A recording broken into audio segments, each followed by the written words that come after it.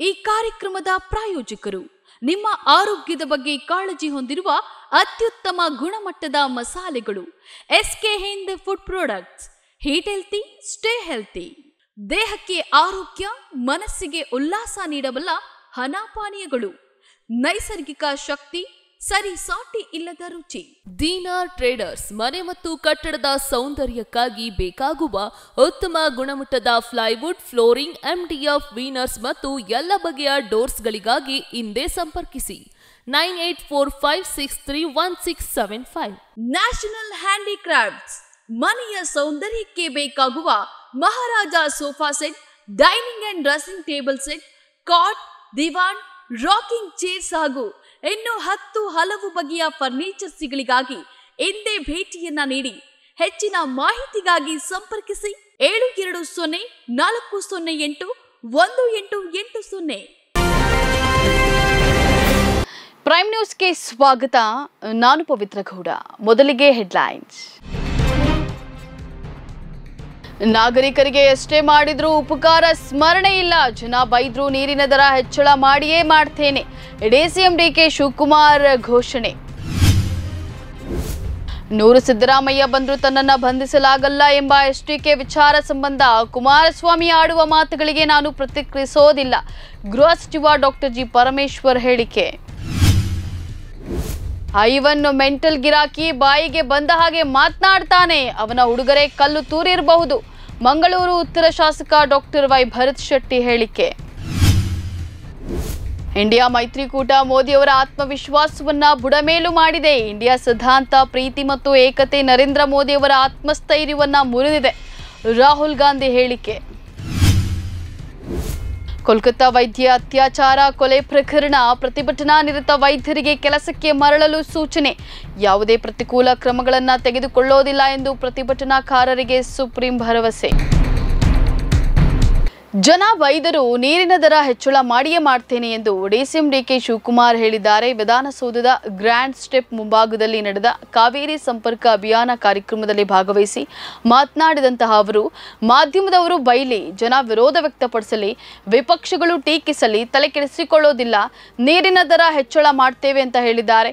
ಬೆಂಗಳೂರು ನೀರು ಸರಬರಾಜು ಮತ್ತು ಒಳಚರಂಡಿ ಮಂಡಳಿ ಅಧಿಕಾರಿಗಳು ನೀರಿನ ದರದ ಬಗ್ಗೆ ಮಾಹಿತಿಯನ್ನು ಕೊಡಿ, ಎಷ್ಟು ವರ್ಷಗಳಿಂದ ನೀರಿನ ದರ ಹೆಚ್ಚಿಸಿಲ್ಲ ಅಂತ ಹೇಳಿ ಮಾಹಿತಿ ಕೊಡಿ ಎಂಬುದಾಗಿ ಜಲಸಂಪನ್ಮೂಲ ಸಚಿವರು ಆಗಿರುವ ಡಿಕೆ ಶಿವಕುಮಾರ್ ವೇದಿಕೆಯ ಮೇಲೆಯೇ ಅಧಿಕಾರಿಗಳಿಗೆ ಸೂಚನೆಯನ್ನು ನೀಡಿದ್ದಾರೆ. ನಾಗರಿಕರಿಗೆ ಎಷ್ಟೇ ಮಾಡಿದ್ರು ಉಪಕಾರ, ಸ್ಮರಣೆ ಇಲ್ಲ. ಎಷ್ಟೇ ಒಳ್ಳೆಯದು ಮಾಡಿದ್ರು ಬೈತಾರೆ, ಕಮೆಂಟ್ ಮಾಡ್ತಾರೆ ಅಂತ ಹೇಳಿ ಬೇಸರವನ್ನ ವ್ಯಕ್ತಪಡಿಸಿದ್ದಾರೆ. ಮುಖ್ಯಮಂತ್ರಿ ಸಿದ್ದರಾಮಯ್ಯ ಕರೆದಿರುವ ಸಂಪುಟ ಸಭೆಯಲ್ಲಿ ಭಾಗವಹಿಸಲು ಮೊದಲು ಮಾಧ್ಯಮ ಪ್ರತಿನಿಧಿಗಳ ಜೊತೆ ಮಾತಾಡಿದ ಗೃಹ ಸಚಿವ ಡಾಕ್ಟರ್ ಜಿ ಪರಮೇಶ್ವರ್ ಅವರು ಮೋಡಾ ಪ್ರಕರಣಕ್ಕೆ ಸಂಬಂಧಿಸಿದಂತೆ ದಾಖಲೆ ಪತ್ರಗಳಲ್ಲಿ ತಿದ್ದುಪಡಿ ಮಾಡಿ ಮುಖ್ಯಮಂತ್ರಿ ಸಿದ್ದರಾಮಯ್ಯರನ್ನ ರಕ್ಷಿಸುವ ಪ್ರಮೇಯವೇ ಉದ್ಭವಿಸಲ್ಲ. ಅವರು ಸೇಫ್ ಅಲ್ಲ ಅಂತ ಯಾರು ಹೇಳೋದು? ಎಲ್ಲರಂತೆ ಸೇಫ್ ಆಗಿದ್ದಾರೆ. ಸಚಿವ ಸಂಪುಟ ಸಭೆಯಲ್ಲಿ ಎಲ್ಲರೂ ಮುಖ್ಯಮಂತ್ರಿ ಜೊತೆ ಇರುವ ನಿರ್ಣಯವನ್ನ ತೆಗೆದುಕೊಳ್ಳಲಾಗಿದೆ. ಮತ್ತು ಕಾಂಗ್ರೆಸ್ ಕಾರ್ಯಕಾರಿಣಿ ಸಭೆಯಲ್ಲೂ ಅವರೊಂದಿಗೆ ಐಕ್ಯತೆಯನ್ನ ಪ್ರದರ್ಶಿಸಲಾಗಿದೆ ಅಂತ ಹೇಳಿ ಪರಮೇಶ್ವರ್ ಹೇಳಿದ್ದಾರೆ. ಇವತ್ತಿನ ಸಂಪುಟ ಸಭೆಯಲ್ಲ ಯಾವೆಲ್ಲ ವಿಷಯಗಳ ಬಗ್ಗೆ ಚರ್ಚೆ ನಡೆಯಲಿದೆ ಅಂತ ಹೇಳಿ ತನಗೆ ಗೊತ್ತಿಲ್ಲ. ಮೀಟಿಂಗ್ ನಂತರ ಮೀಡಿಯಾ ಬ್ರೀಫಿಂಗ್ ಮಾಡಲಾಗ್ತದೆ ಅಂತ ಹೇಳಿ ಸಚಿವರು ವಿವರಣೆಯನ್ನ ನೀಡಿದ್ದಾರೆ. ಅಲ್ಲದೆ ನೂರು ಸಿದ್ದರಾಮಯ್ಯ ಬಂದರೂ ತನ್ನನ್ನ ಬಂಧಿಸಲಾಗಲ್ಲ ಅಂತ ಹೇಳಿ ಕೇಂದ್ರ ಸಚಿವ ಎಸ್ ಟಿ ಕುಮಾರಸ್ವಾಮಿ ಹೇಳಿರೋದನ್ನ ತಿಳಿಸಿದಾಗ ಪರಮೇಶ್ವರ್ ಅಂತ ವಿಷಯಗಳಿಗೆಲ್ಲ ತಾನು ಉತ್ತರಿಸೋದಿಲ್ಲ ಅಂತ ಹೇಳಿದ್ದಾರೆ. ಐವನ್ ಡಿಸೋಜಾ ಒಬ್ಬ ಮೆಂಟಲ್ ಗಿರಾಕಿ. ಬಾಯಿಗೆ ಬಂದ ಹಾಗೆ ಮಾತನಾಡ್ತಾನೆ ಎಂದು ಮಂಗಳೂರು ಉತ್ತರ ಶಾಸಕ ಡಾಕ್ಟರ್ ವೈ ಭರತ್ ಶೆಟ್ಟಿ ಹೇಳಿದ್ದಾರೆ. ಮೂಡಾ ವಾಲ್ಮೀಕಿ ಪ್ರಕರಣಕ್ಕೆ ಸಂಬಂಧಿಸಿದಂತೆ ಸಿಎಂ ರಾಜೀನಾಮೆಗೆ ಆಗ್ರಹಿಸಿ ನಡೆದ ಬಿಜೆಪಿ ಪ್ರತಿಭಟನಾ ಸಭೆಯಲ್ಲಿ ಮಾತನಾಡಿದ ಅವರು, ಐವನ್ ನನ್ನನ್ನು ಏನ್ ಮಾಡುತ್ತಾನೋ ಗೊತ್ತಿಲ್ಲ. ಹೆಲ್ಮೆಟ್ ಹಾಕಿದ ಇಬ್ಬರು ಐವನ್ ಮನೆ ಮೇಲೆ ಕಲ್ಲು ತೂರಾಟವನ್ನು ನಡೆಸಿದ್ದಾರೆ. ಇದನ್ನ ಇವನ ಹುಡುಗರಿಂದಲೇ ಮಾಡಿಸಬಹುದು. ಇದಕ್ಕೂ ಆ ಇಬ್ಬರು ನಾನು ಹಾಗೂ ವೇದವ್ಯಾಸ್ ಕಾಮತ್ ಅಂತ ಹೇಳಿ ಕೇಸ್ ಹಾಕ್ತಾರೇನೋ ಗೊತ್ತಿಲ್ಲ. ನಮ್ಮ ಮೇಲೆ ಸಾಕಷ್ಟು ಕೇಸ್ ಹಾಕಿದ್ದಾರೆ. ಇನ್ನು ರೌಡಿ ಶೀಟರ್ ಆಗಬಹುದೇನೋ ಗೊತ್ತಿಲ್ಲ ಅಂತ ಹೇಳಿದ್ದಾರೆ. ಐವನ್ ರಾಜ್ಯಪಾಲರ ಮನೆಗೆ ನುಗ್ಗಿ ಹೊಡೆಯುತ್ತೇವೆ, ಒಡಿಸ್ತೇವೆ ಅಂತ ಹೇಳಿದ್ರು. ಅವರ ಮೇಲೆ ಕೇಸ್ ಹಾಕಲು ಪೊಲೀಸರು ಹಿಂದೆ ಮುಂದೆ ನೋಡ್ತಾರೆ. ಸರ್ಕಾರ ಇದೆ ಎಂಬ ಕಾರಣಕ್ಕೆ ಪೊಲೀಸರು ನಿಮ್ಮ ಆತ್ಮಸಾಕ್ಷಿಯಾಗಿ ಸರಿಯಾಗಿ ಕೆಲಸ ಮಾಡಿ ಅಂತ ಹೇಳಿ ಸಲಹೆಯನ್ನು ನೀಡಿದ್ದಾರೆ. ಇಂಡಿಯಾ ಮೈತ್ರಿಕೂಟವು ಪ್ರಧಾನಿ ನರೇಂದ್ರ ಮೋದಿ ಅವರ ಆತ್ಮವಿಶ್ವಾಸವನ್ನು ಬುಡಮೇಲು ಮಾಡಿದೆ ಎಂದು ವಿಪಕ್ಷ ನಾಯಕ ರಾಹುಲ್ ಗಾಂಧಿ ಹೇಳಿದ್ದಾರೆ.